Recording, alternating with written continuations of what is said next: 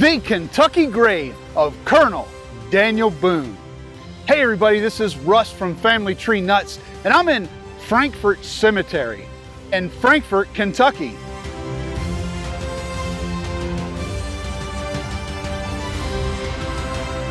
At the grave of someone that needs no introduction, Colonel Daniel Boone and his wife, Rebecca Bryan Boone. The grave sits at a beautiful location on a ridgeline overlooking the Kentucky Capitol building and downtown Frankfort. It is a popular spot for many people, not just because of its historical significance, but also its beauty.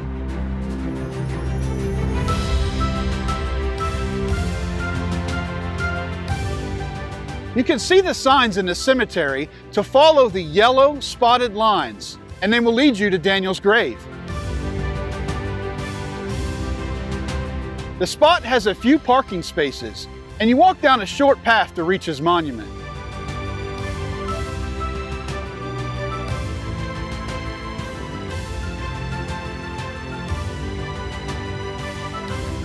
The monument has a strong wrought iron fence. Let's go take a closer look. On the front, it has his name, Daniel Boone. He is pictured wearing a coonskin cap and buckskins in front of a cave.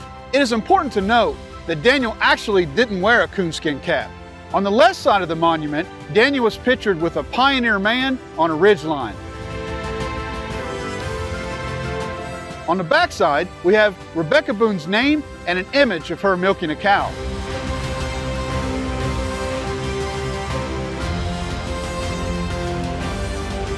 On the right side of the monument, we see an image of Daniel engaged in combat with Native Americans. I know what some of you are saying. Daniel wasn't buried here in Kentucky, he's buried in Missouri. In 1799, Daniel Boone was 65 years old, and he was invited to move to Upper Louisiana, modern day Missouri. The Spanish wanted Daniel to serve as a commandant and a judge of the Femme Osage Valley just west of St. Louis. He spent most of his last years living at his son Nathan's home. Daniel died in 1820 and was buried next to his wife Rebecca on the farm of his daughter Jemima Boone Callaway.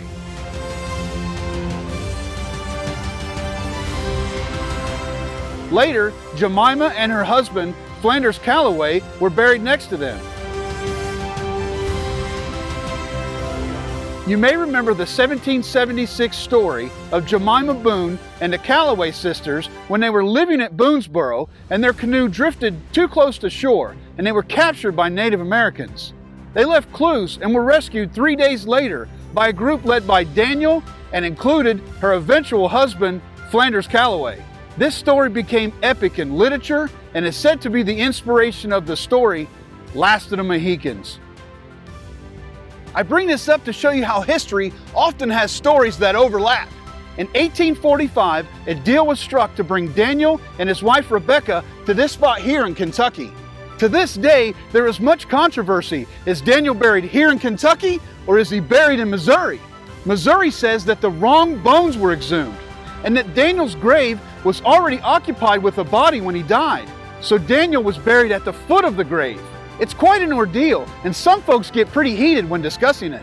The Friends of Daniel Boone's burial site in Missouri said in 2010 that some of Daniel's bones were moved to Kentucky, but his heart and his brain remained there in Missouri.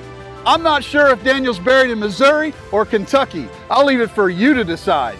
So here we are at the gravesite of the great Colonel Daniel Boone, one of the very first pioneers to enter into the land of Kentucky one of the fathers of Kentucky, one of the icons of American history, an American patriot, and definitely a hero. I don't think it's important as to whether Daniel's really buried in Missouri or if he's buried here in Kentucky. I think it's important that we honor and remember him and the impact that he had to our great nation. And remember, Family Tree Nuts, let our nuts find the nuts in your family tree. Like what you see? Make sure you follow us on Facebook, Instagram, and Twitter. And subscribe to our YouTube channel. Don't forget to click the little bell so you get notifications as to when we post new videos.